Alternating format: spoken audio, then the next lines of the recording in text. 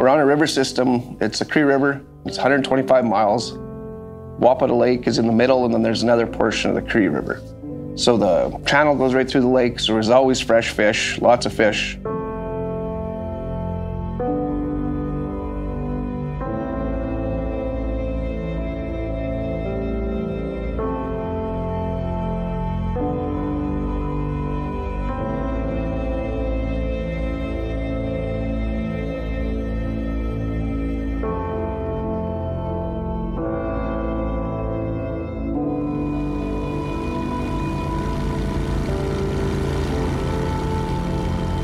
Yeah, we're fishing a nice little weed bed here just right off the edge of the current. Four or five feet of water. We got the main river flow is just probably 50 feet out to the deeper channel here and uh, a few fish hanging in the weeds. Not super aggressive yet this morning, but uh, there's some fish and they're biting, so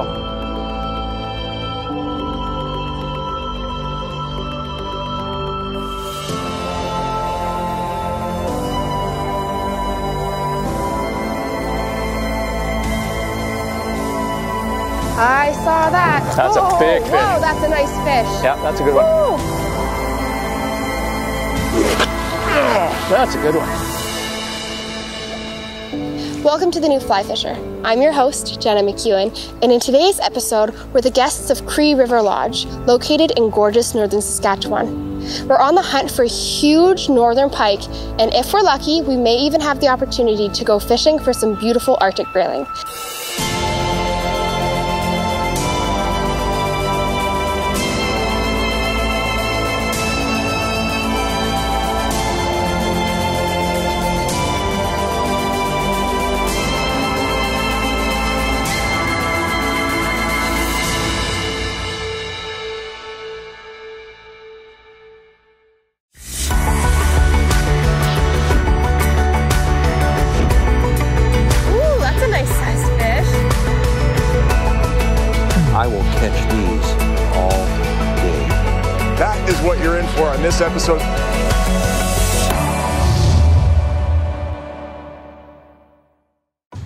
It's unlike any place I've fished before, and the fishing is on fire.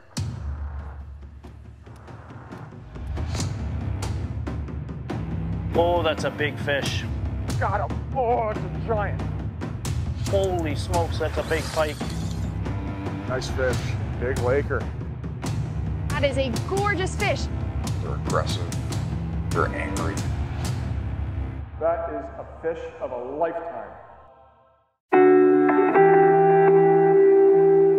After spending the night in Edmonton, Alberta, the next morning we took a charter flight to the small town of Stony Rapids, Saskatchewan. It is here that my journey truly began when I boarded a float plane for the short flight to the lodge.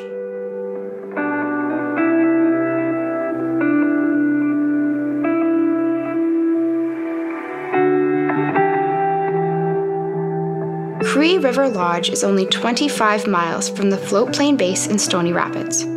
However, Mother Nature threw us a curveball. During our flight, the skies grew dark and rainy, and our pilot wisely made the decision to turn around and head back to town. Thankfully, Cree River Lodge is prepared for these types of problems. They arranged for us to board a shuttle bus, which drove 45 minutes to the boat launch on the river. Then it was a quick 15 minute boat ride to the main lodge. I couldn't wait to get there. The mighty Cree River flows into Wapata Lake, and it is at this juncture that Cree River Lodge is located. We are truly in the far north of Canada, surrounded by boundless wilderness, wildlife, and peaceful serenity. While I love all the incredible, unspoiled wilderness, it's the giant northern pike that have drawn me to this wondrous region of Saskatchewan. And boy, are they plentiful here. The first time we came here, I was absolutely amazed, first of all, at the ease of getting here. Now, we come from Minnesota. We can take a nonstop jet to Edmonton, and then we can take a charter directly here. We got here, I have never seen that many northerns in my life over 40 inches. And it's kind of funny because you realize in a hurry that big northern you talked about before that was so big, you realize was not that big. What I like about it? It's the best fishing lodge I've ever been to. My guide this week is Dwayne Cromarty, but everyone in the fishing world knows him as Chip. Chip has been working as a guide in northern Saskatchewan for over 30 years and is considered a true professional. Best of all, he is both a conventional tackle angler but also a fly fisher. Chip's experience of fishing, fly casting, and fly tying make him the perfect guide for my first trip to northern Saskatchewan.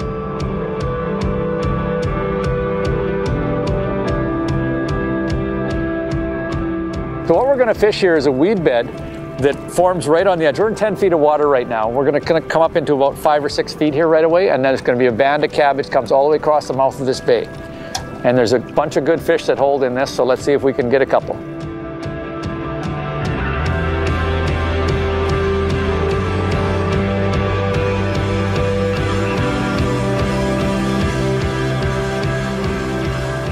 That's fish. There we go. Whoa. Okay, okay. Ow. Let's see here. That's a decent fish. That's a very decent fish. That's a very I'm nice quite, fish. Quite Yeah. pleased with the You size can bring of him on that this fish. side. It's fine. Whichever side he wants. Whichever side, I think he's. Yeah, whichever. Oh, watch him. Oh, oh, oh. There we go.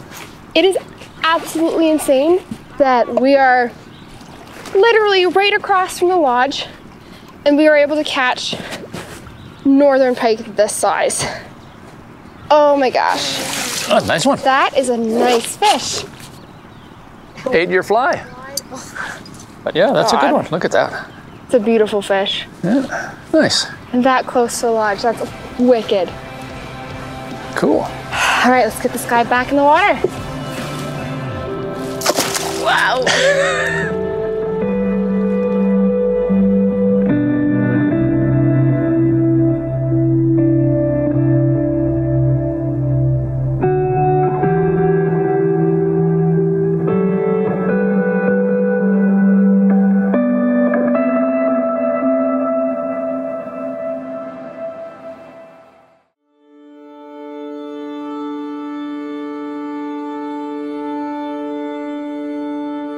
always blown away by the beauty and diversity of northern Canada. It is such a unique and untouched environment, one of the last in the world.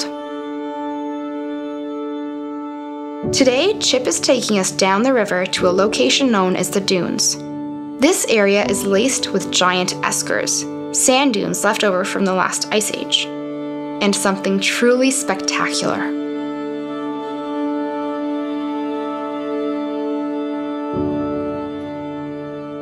This area is not only beautiful, but the waters here are also known for holding monster northern pike.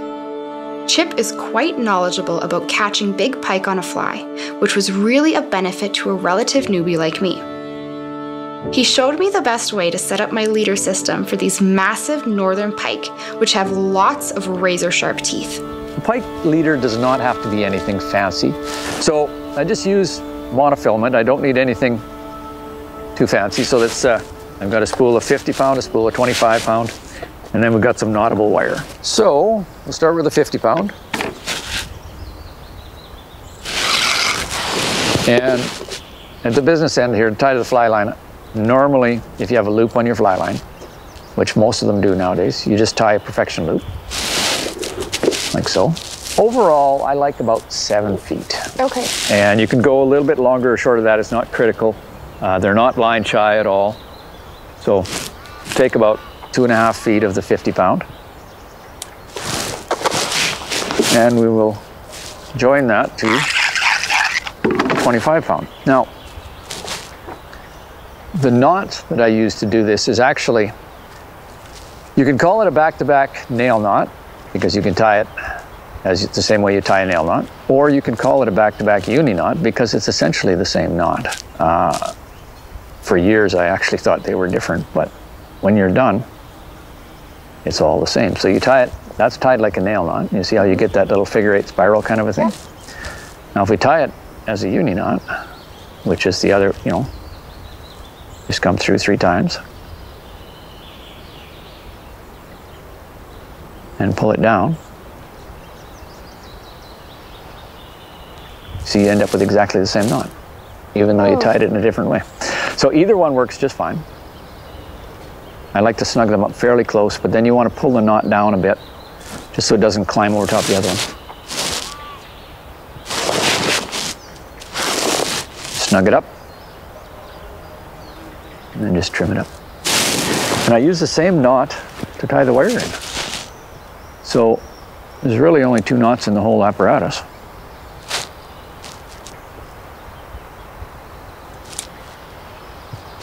Now we've got something like that. And we'll take the wire and do the same thing. Make them nice and snug so you don't have to worry about them.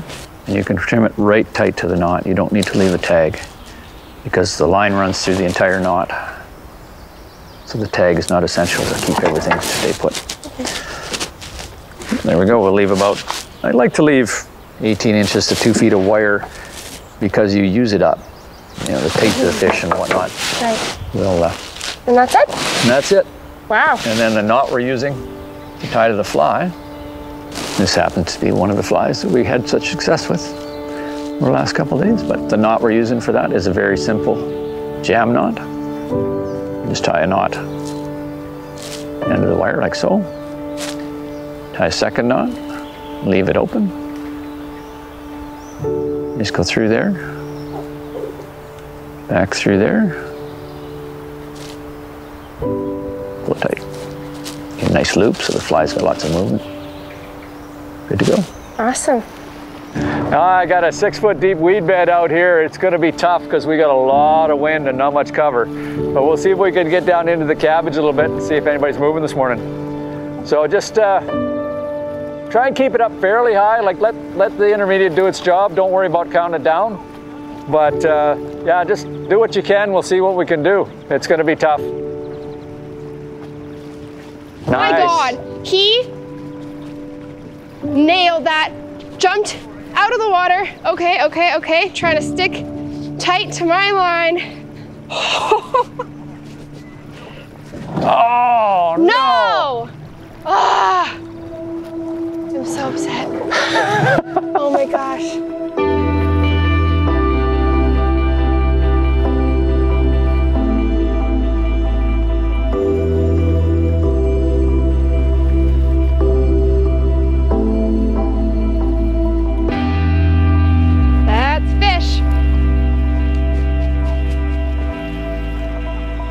Okay, I'm gonna try and get him on the line here, but I don't want to lose any slack, so more worried about that than feeling up, but okay. Let's see see here. Haven't seen it yet. Try and okay. Uh, don't want to reel up too much because I don't want to. Okay, okay, okay. That Nice is one. Watch out there. Watch the line on the boat. Yep, I'll Yeah. up there in a second. Okay, Just trying to get position. yep. Don't think she's quite ready for me yet. No, not yet. And try and get the head towards him here. Mm, she might Come on, still turn, girl. have- Just turn. Ooh, don't do that. Got her. There we go. Wow. Nice fish. Nice fish. is a freaking dinosaur. It's a great fish. Look Oh. at this oh thing. My God. Look at that. Wow. Look at that beast. That's Man, an awesome fish. that is actually amazing. nice work. Holy cow, thanks, Chip.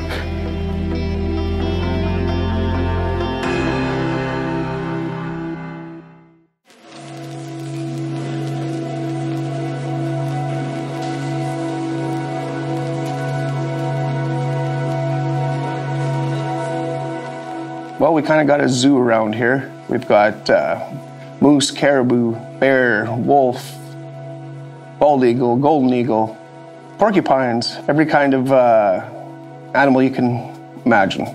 You have your private cabin to yourself.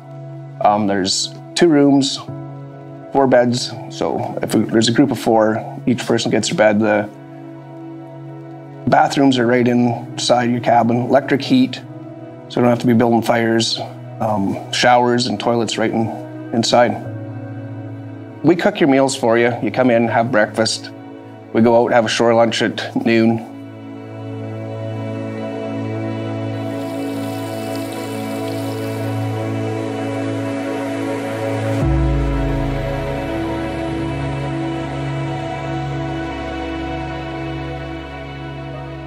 Uh, we come in and have dinner in the evening. Everything's prepared for you. Um, you don't have to bring any food at all. Here at Cree River Lodge, you're fully guided. Um, we've got a variation of guides from the fly fishing to the spin fishing. You know, we have people with six to 35 years of experience, so they really know what they're doing.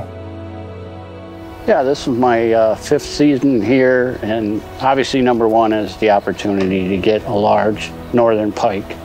You always seem to catch fish over 40 with no problem at all. In fact, the first year we were here, we had nine fish over 40 with seven of them caught in one day. But what makes it even better is a place that's this far north in Saskatchewan has all of the walleyes you ever want to catch. Plus, you have an opportunity if you want to go in the rapids and catch grayling. So you've got multiple fish species you can you can hunt.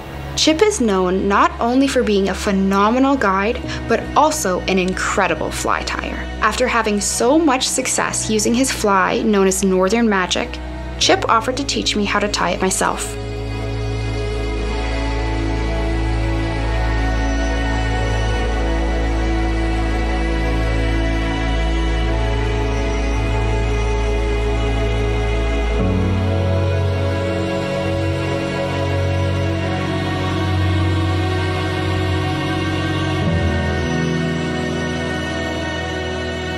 I couldn't wait to get out on the water and test the fly that I had tied myself. Thankfully, I didn't have to wait for long.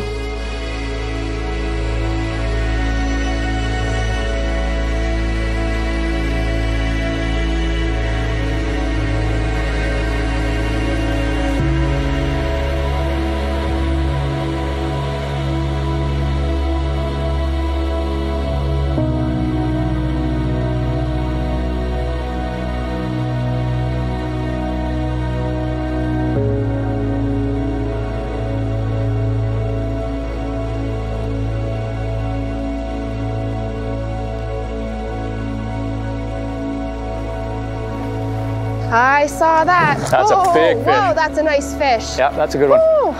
And last last night, um, Chip showed me how to tie this fly. It's Northern Magic, a pattern he created. And so I'm actually fishing with a fly that I tied myself, which is pretty cool. Okay, really don't want to lose this guy. Yeah, keep good tension on him. You're in the cabbage there, so you want to have good, good tent, firm Okay. tension the whole time. Okay, You don't want him to let get that cabbage Okay. between the line and the fly and lever it out of his mouth. okay. Trying to keep tension and okay, I've got him on the rod now. That is a very nice fish. Okay, woo! Looks like I got it right in the corner of the mouth there too. Really taking that line out.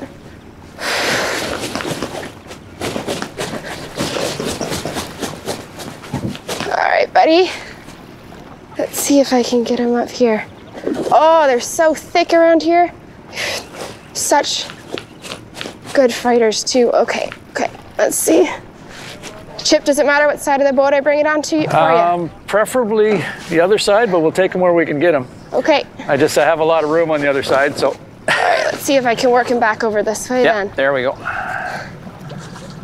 Now just make sure you don't bring the fly line up into the rod. Okay, yeah. We have a bit of a knot there that would. Man, I saw that my fly. I was just about to pull it in, but Chip has been reminding me to really let the fly come all the way to the boat because sometimes that's when uh, the pike will strike. And lo and behold, not even a foot away from the back of the boat, I watched. Oh my gosh, that's a big fish.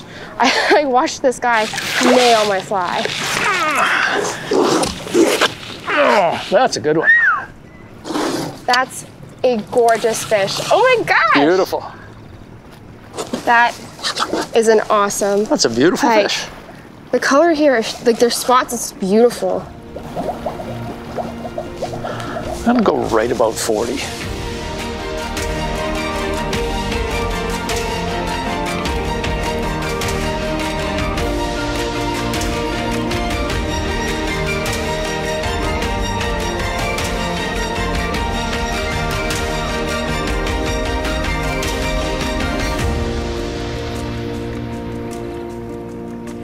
Ooh, That might be a better one. that might be. Oh, okay, yeah, yeah, yeah, that's feeling that's like a better that's good. fish. Barely even stripped in any line. Can't tell. It hasn't hit. gone anywhere though, No. Whew. but it is going now. Yeah. All right, all right. Come on, buddy. There we go. We're liking that. We're Oh, yeah. liking this. Oh, yeah. okay. I'm Haven't seen enough to tell you what it is yet, but No, he's deep. Hide in there. That glare is not helping either. Okay, let's see. it's almost up to the surface. Ah, that's a decent fish. That's a decent fish for sure. Yeah, that's a nice one. wow, nice. And I'd only done a couple uh, strips. I had changed up my retrieve. I was, instead of doing hard short strips, I was doing a hard longer strip um, and giving it a bit of a pause. And that seems to be working. We're using uh, intermediate just to kind of get a little bit deeper. Try and keep him away from the boat a little bit yet. Oh, he's got Yep, you're okay. he's got some chunks out of his back there. It's a rough neighborhood. Clearly. Okay, let's see here. Keep some pressure on. Oh, on and that's a that's a nice looking fish. Oh, it's, I can never get over how wide the shoulders are. Thanks, Chip. Whoa, nice. But those are definitely otter marks, I would say, on that one. Oh, you'll be good. Beautiful fish, though. All right. Cool.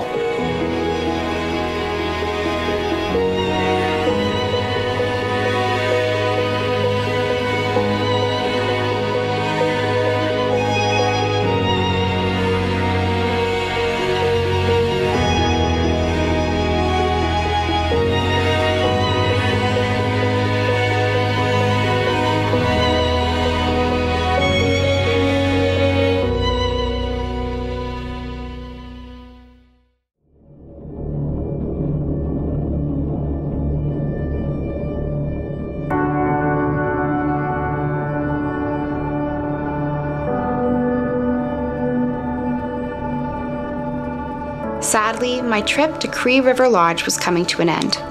Chip took me out for one more morning of fly fishing on these magical waters. There's another fish. Ah, that's a good one, too. Yeah. Oh my gosh. Not bad. Another Not fish. bad. So I just we just released a very nice fish.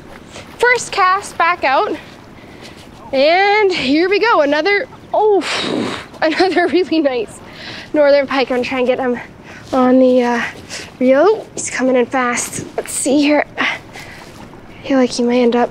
Oh, that I think this is a really thick one. There you go. Ooh.